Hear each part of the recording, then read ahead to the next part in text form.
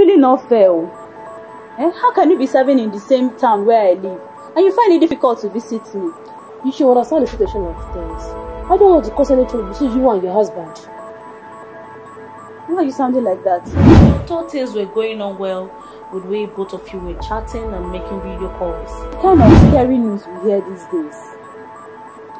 I even get scared coming out of the house. It's really not fair. Eh? How can you be serving in the same town where I live and you find it difficult to visit me? You should understand the situation of things. I don't want to cause any trouble between you and your husband. Why are you sounding like that? thought things were going on well with the way both of you were chatting and making video calls. What kind of scary news we hear these days? I even get scared coming out of the house.